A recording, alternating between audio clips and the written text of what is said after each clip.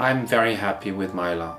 Milo for me is a, a, an emotional film, um, a film about something, a very universal theme, about unconditional love and about the fact that a child really deserves that. I loved the script at the first reading. Um, I love the character and the, the story. it's very, I can't say shocking, but it's very touching.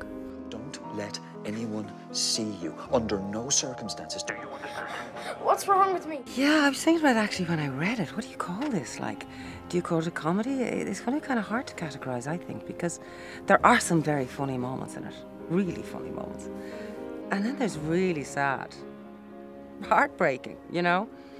And it's a kind of a, it's almost like a road trip for Milo, you know, because he heads off and he ends off somewhere else completely with these weird people. And it's about family and it's ultimately, though, it's about, I think, connection and love and acceptance.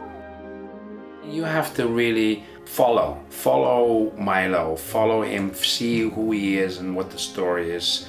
I mean, and I, I assure you that you'll have a, a enjoyable experience.